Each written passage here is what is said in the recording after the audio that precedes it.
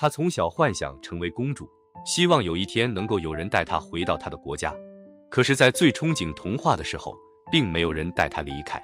直到已经嫁人生子，人生过半，人们才经过考古发现她是流落民间的西兰公主。带你走进流落民间的公主许氏银娥的故事。许氏银娥，一九七五年生于福建泉州，是在闽南土生土长的姑娘。许氏银娥小的时候是和曾祖母一起生活的，每天晚上睡觉前，曾祖母都会给她讲故事，但是讲的那些故事总是让小许氏银娥一头雾水。曾祖母曾告诉许氏银娥，他们的家族是从很远的海上来的。之后的她就开始憧憬着有人从海上来接她，回到属于公主的宫殿。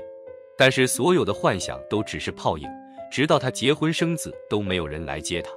长大后的她也便没有了公主梦。她的幻想也不仅仅来源于曾祖母，还有自己的姓氏。许氏在中国没有这样的姓，她也不是单姓。不仅仅是许氏银娥有着疑惑，周围的同学朋友也很好奇。她也曾去问过父亲。但是却被父亲呵斥了一顿，只是告诉他这是两个姓，并且都是自己家族姓氏。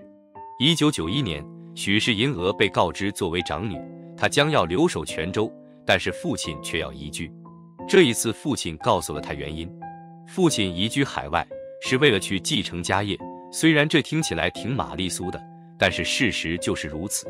而且，虽然她是公主，但是这个身份不能让任何人知道。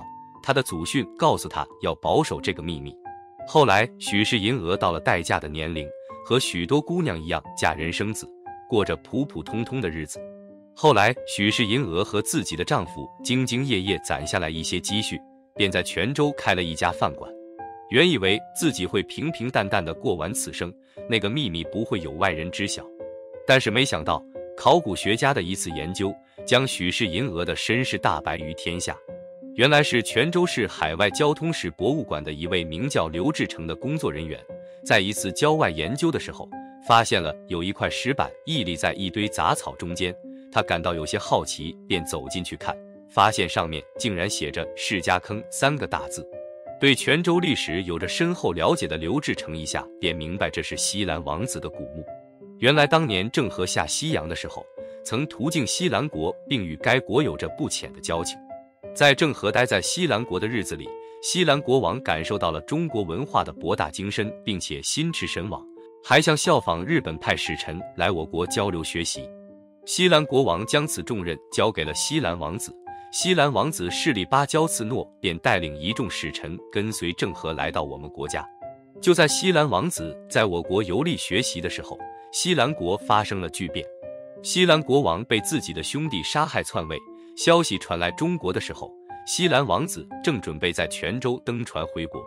明朝皇帝深知帝王家的权谋，在得到消息的时候，便知道如果西兰王子回去，将是凶多吉少，所以便劝他留下，在泉州赐予他府邸仆人，并给他和泉州首富的女儿赐婚。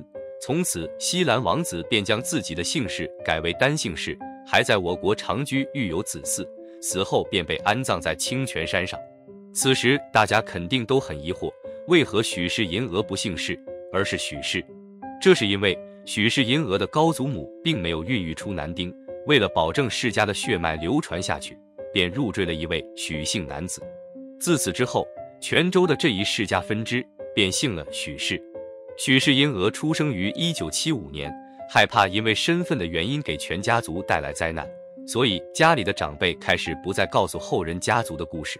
这也是为何许氏银娥的父亲在离开前一直没有告诉他的原因。世家坑被发现，许氏银娥丝毫不见开心。在闽南，祖先的坟墓被挖掘可是犯了大忌。焦头烂额的许氏银娥实在没有办法，将这一切对丈夫和盘托出。她想让丈夫去和海交馆交涉，把墓碑放还世家坑。也许是害怕丈夫交涉失败，或者被认为是骗子，她做了违背祖训的事。将自己的身份告知了海交馆，她将自家族谱作为证据提供给了海交馆领导，和县治里的内容完全一致。知道这个消息后，邻里都惊呆了。相处这些年都不曾知道自己竟然和公主住在同一条街上。其实许氏银娥身上有一处很明显的标记，就是她的耳朵。西兰王子的后人一出生，耳朵上就会有一个小孔，只是大家都不曾仔细查看过。二零零二年，斯里兰卡政府知道了这个流落在外的公主，先后多次派工作人员和考古学家来到泉州求证，确定许氏银娥是皇家正统后，便盛情邀请她回家看看。许氏银娥想起了曾祖母曾经夜夜思念，也想去看看自己的祖先们生活在什么样的地方。许氏银娥到达斯里兰卡后，大家对于这位公主十分的上心，游览了可以见证西兰王国曾经辉煌的地方和物件。国民们也非常尊敬这位公主，热情地欢迎她。二零零三年九月，许氏银娥在回国后，便觉得自己应该为自己的祖先西兰王子做些事情。他再次违背了祖训，将家谱复印交给考古研究人员，并且通过各种方式召回氏家族人一起朝拜他们的祖先。二零一零年七月十八日，许氏银娥应邀参加上海世博会斯里兰卡国家馆日活动。活动上，斯里兰卡总理表示想将许氏银娥接回斯里兰卡生活。虽然西兰王国已经废除了帝制，也更改了国名。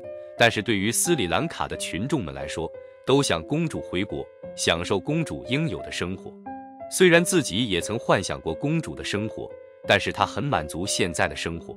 虽然祖上是西兰王室，但是经过多年的繁衍生活，她已经扎根在了中国。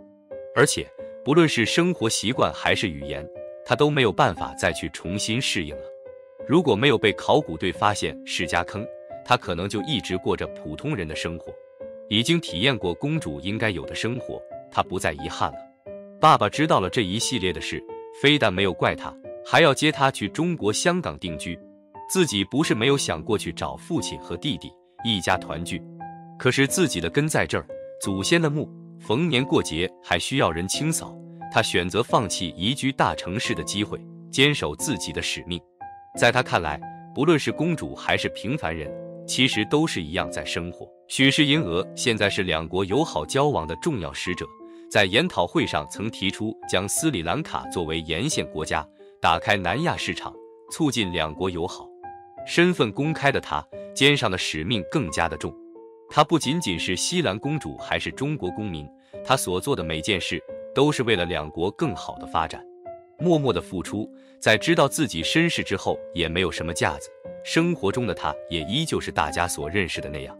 看完西兰公主许氏银娥的故事，你有什么样的思考呢？如果你一夜成为了公主，你能否像她一样懂得舍弃呢？你会选择成为两国友好交往的使者吗？欢迎大家在评论区留言并讨论。如果你喜欢我的视频，请关注我，为我点赞并转发。你们的每一份鼓励，都将是我做出更好视频的动力。